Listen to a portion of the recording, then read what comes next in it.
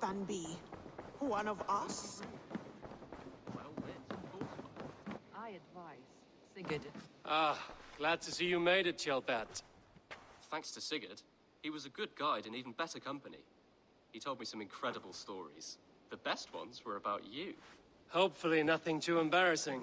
There were a few gems. Not to interrupt, Eivor, but what of Ledecestrescire? The Alliance is won.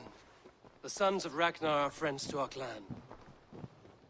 Glad to hear it. Well done to you both.